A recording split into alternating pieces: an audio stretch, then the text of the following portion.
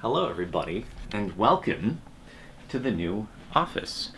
Up until very recently, it was a very temporary setup with like an Amazon desk, cables just all over the place, no management whatsoever. But now that the old house is sold, I was like, okay, it's time to make it more of a proper, nice looking office. So I'm going to show it to you today. This is where I stream and make YouTube videos and make videos about me making YouTube videos.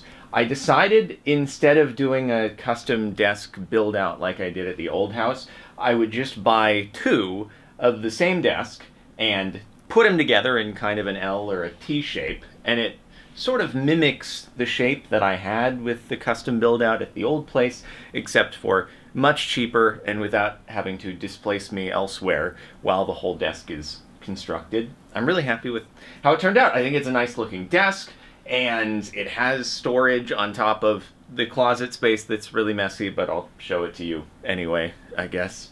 Guess that part's not finalized in the office, but it'll be a work in progress for a while. Anyway, we have the same triple monitor setup as before, except now it's on a clamped triple monitor stand. When I posted a photo of this on Twitter showing, hey, here's the new desk, people were like, oh my god, your monitor is off the side, you're gonna bump it, it's gonna fall over, you're making me so nervous. No, this is a light stand. The monitor is attached to a central triple mount. It is a little bit wobbly, admittedly, but this is not just gonna fall on to the floor randomly if I bump into it. If I bump into it, it will probably just pivot the entire thing and it'll be kind of a mess and I hope to not actually do that. But it's secure and it's good, other than the slight wobbly ness of the, the whole thing. But that's, I think that's more of a function of the fact that, you know, it's instead of a built-in desk, it's a freestanding desk. Also, it's the carpet, and instead of a concrete slab with tile, it's like a wooden, you know, framing. And it's just, everything's slightly more wobbly here than at, at the old house. It's just the nature of of the game. Let's go around the other side because I decided to do some adjustments to kind of the lighting setup in here in the hopes of being able to have more flexible options for how I look and am chroma keyed depending upon the kind of game that I'm playing. So first thing, this is a new green screen. Well, I've had it for a bit, but I just put it in. It works now really well that I have the black headset with the previous blue A40s. I would kind of blend in because it's a slightly more blue shade of the green than my previous green screen, but this thing overall is far cooler. It's from a company called Sub2R, of which, disclosure, I am a shareholder, and looks like a normal green screen. However, there's a remote. It's plugged in in the back, and I can turn it on. And this allows you to have a very clean chroma key as it's backlit, even if I have none of my lights turned on right now. So I could even be kind of in darkness, and the chroma key in OBS would still work very well, so it can be kind of like spooky and dark for, I don't know, a horror game or something like Lethal Company, which I've been doing recently. Although with Lethal Company, what I'll do is I'll turn on just the center Logitech Litra Beam. Shout out to Logitech with the sponsor as well. And I can just click the button turn on the center one, and then it's kind of a harsher illumination just like here, but but it can look spooky if I, you know, adjust the gain in the settings, of the webcam, all that. So it gives me a little bit more flexibility. And then if I want to do like the full-on normal lighting for, you know, Minecraft video or something like that, I can do Alexa, turn on the stream lights, and then the other lights will come on, and then we get the full brightness of everything. And so it gives me just a little bit more adjustability in the lighting situations and stuff, and I'm very happy with it. I think it's really cool. Turn off the stream lights. And then off, and then off, and we're back to baseline. And I probably look much, much dimmer now. And then I could turn off the, the, overhead lights as well. So much flexibility. These seem to mess with the frame rate on the camera and cause weird interpolation black lines when shooting. Definitely haven't had to reshoot this because of that. Um, anywho, I also have the fancy camera in a more uh, uh, accessible, good angle place now versus at the old office. And so I can kind of switch between this and the uh, the webcam, the Logitech webcam, as desired, and uh, it's nice. And also, because of the size of the new green screen, the AGS, which if you're interested in the AGS, I'll link it below. Um, I now can just entirely look like I'm in a green void when I do the straight to webcam vlogs on the fancy camera, which is kind of a cool effect. Anyway, the other desk over there is printer, modem, router, the usual stuff. But I did decide to, you know, display the 1 mil old play button, the 10 million. I swear the 10 million is not dusty. It's just like the thing is a magnet for stuff. it's see it's not dusty. Proof. I tried dusting it. It's just like it needs a full wash in detail or something. Like when I have someone over to wash a car, I need to be like, can you also clean the play button for me? Because I don't. Anyway, I would hang it on the wall, but there's like very minimal space for me to actually get the sound deadening panels on the wall to reduce echo. So I've decided to just you know, make full use of that. I've also, uh, it's not like the best looking uh, uh, thing here, but I, I have the just the foam panels leaning up against the windows. There are blinds that can come down and those would kind of deaden the sound as well. But there have been studies that show that even if you're not touching grass, if you are seeing naturey things in grass and stuff like that, that this is not gonna it look didn't good. work. If you were if you were seeing naturey grass stuff, it is supposed to like put you in a better headspace. So rather than shutting the blinds, I've decided to keep them open, even though it makes the lighting kind of change throughout the day going into the night.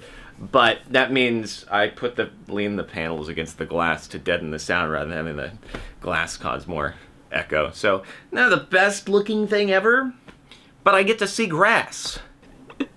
Bruh. Okay, back to the technology. Anyway, I think I am most proud of the cable management and organization here, which I'm sure somebody is going to be like, you did a terrible job, but you know what? I think it's nice because there isn't any sort of like place to, to put the cables through the desk. It's not covered on the back, so I had to do what I could in order to make it look nice, despite the fact that the cables would be exposed going from the monitors and the lights and the camera into, there is a cable organization cubby in the desk, which is why I got this desk. But we have a nice Velcro zip tied chungus of cable that feeds into the cable cubby. And then, again, this is why I got the desk. I can open this up, and then we have access to the power strips, USB hub, all of the cables.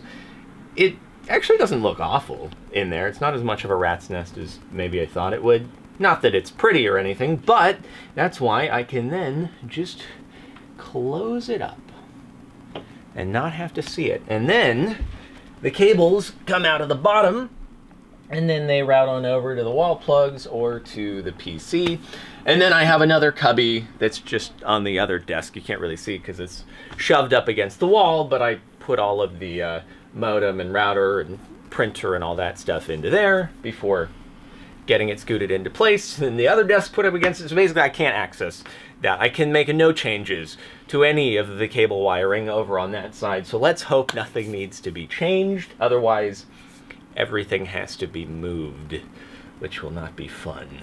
I, I don't know how I'm managing to make a tour of what is a, a fairly confined room uh, so long, but we have a closet as well, which it, it's not like super great. I want to make this kind of a hybrid between storage and also showcasing things like uh, play buttons and the hippie livery special Xbox and trophies and memorabilia, but also storage of things and just a place to put things that I don't know where to put everywhere else. The PC that I started making YouTube videos on that I definitely still have because uh, I wanted to keep it for that reason and not that I just have never bothered to do something. But then, Baby Yoda and MCC TwitchCon crown and stuff. It's a little bit of everything all mixed together. Oh, one more thing that. Okay, so the having carpets like, or at least just this carpet in particular, I I suffer. Okay, so anything that is on this carpet, if you stand on it, if you interact with it, it starts to slowly move, move and shimmy across the floor. It's infuriating. So this mat to try to protect the, the, the carpet from getting wrecked by the wheels on the chair over time, because it will do that, it will, as I'm sitting, as I get on and off, this thing will just slowly move back until it hits the wall, starts to damage the floorboard, digging into it, curling up. It's, it's just a mess. So what I have had to do here is I have tied, they are taut, dude. These things are like huge pounds of force just pulling on the desk. It has moved. This desk, which is a heavy desk, and then it has all the equipment on it, it has moved. It has pulled the thing over. There used to be no gap between the two desks. There is a gap now between the two desks as this is yanked, and there's nothing I can do about it. There's nothing. If I get one that has the like the the spikies into the carpet, it will bunch itself up I don't know what I there's no solution other than like not having this carpet in here. anyway, I, I had other less significant ropes around this thing before. They broke. It just snapped after a certain amount of time. I'm sure that over time, these desk legs are going to have like they're gonna they're gonna have a ring around them where the force of the rope has like just worn away the wood over time. That is the only problem with this place. Other than that, it's very nice. and now you have learned all the quirks and features of my office. Shout out Doug DeMuro. Thanks for watching, and I will see you in future videos.